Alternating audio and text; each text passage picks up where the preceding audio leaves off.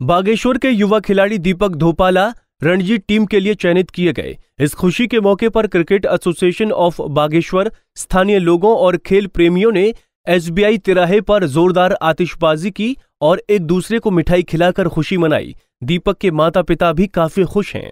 और मेरा ही बेटा नहीं पूरे बागेश्वर का बेटा है और मुझे आशा है मेरा बेटा दीपक नाम रोशन करेगा ज़रूर इंडिया के लिए आएगा जो जुनून उसके अंदर है। हमारे ज़िले से एक लड़का रणजी ट्रॉफी टीम के लिए सिलेक्शन हुआ है दीपक खटोला जिसका नाम है। तो उम्मीद करता है हम उसका भविष्य बहुत उज्जवल रहेगा और बाबा बागनाथ जी की कृपा रहेगी वो आगे हमारे भारत के लिए खेलेगा। ऐसे में हमारे पूरे ज़िले वासी पूरे प्रदेश वासियों की खुशी की बात है। बता दें कि दीपक धपोला वर्तमान में उत्तराखंड रणजी टीम के साथ गुजरात रवाना हो गए हैं जहाँ वो 19 सितंबर को बिहार के खिलाफ मुकाबले में उत्तराखंड का प्रतिनिधित्व करेंगे। बागेश्वर से जगदीश उपाध्याय की रिपोर्ट।